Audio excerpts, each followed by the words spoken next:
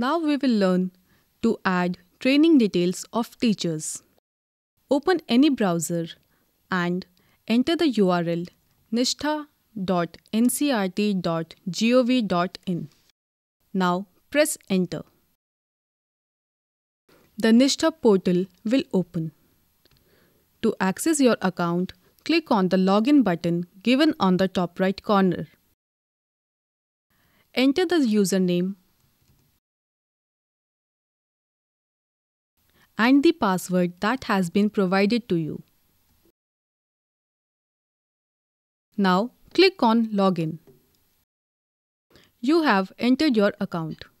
Now go to the username given on the top right corner and click on Dashboard. The dashboard screen will appear. Now, to see the training details of teacher, click on the Training Details Teacher option given on the left. We can see the details of the teachers. Now, to add the convener, click on the Add Convener button.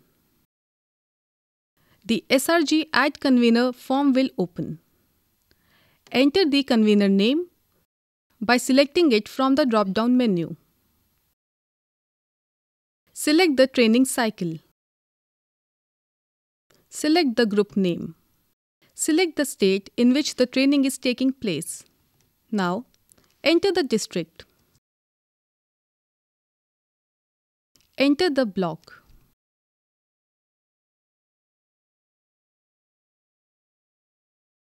Enter the venue where the training is taking place. Add the starting date of the training and the ending date of the training. After filling all the details, click on Submit button. We can see on the screen the message has appeared Convener added successfully. Now we can go back